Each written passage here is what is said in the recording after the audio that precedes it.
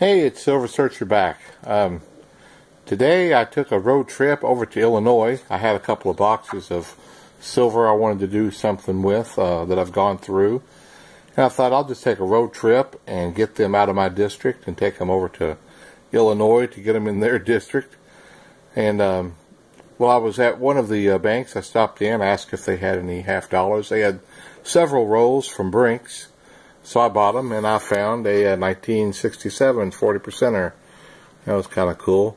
And then the last place I went to, um, they use Loomis, and I have a box of half dollars, and he said he had a sealed box, so I just traded with him. Um, it was pretty neat. The uh, teller uh, also was a collector. He said that he used to, when they had a coin machine, he said he would go through it and he would find two or three coins a week but they got rid of the machine. They found out it just wasn't in their best interest to have the machine. So he looks for the um, silver certificates now and says he found a few.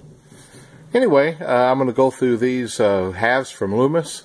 Uh, I have said before I wasn't a big fan of Loomis. I haven't done real well with them, but I'm hoping maybe by some chance the Illinois Loomis are different than the Indiana Loomis.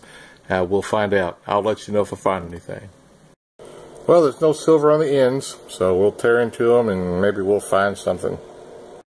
Okay, I've gone through all of them, but I did find one today and I didn't think I would. See what I got there? 1964 90 percenter, cool beans. It was like the uh, third or fourth row. I was hoping I'd find another. But I've gone through Loomis and I have found one in the Loomis. I didn't think I would.